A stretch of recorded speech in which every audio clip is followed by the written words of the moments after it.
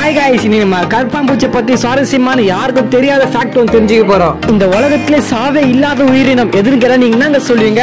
கடவுள்னு சொல்லுவீங்க? ஆமா கடவுள் தான். ஆனா நான் கற்பாம்பூச்சின்னு சொன்னா யாராச்சும் நம்புவீங்களா? யாரும் நம்ப மாட்டீங்க தானே? ஆனா அதான் உண்மை.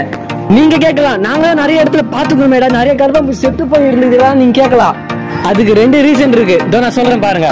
ஃபர்ஸ்ட் ரீசன் மனிதர்களால் சாவோம். அல்ல மனிதர்கள் வந்து ஏதாச்சும் மருந்து வச்சு சாவடிக்கிறது.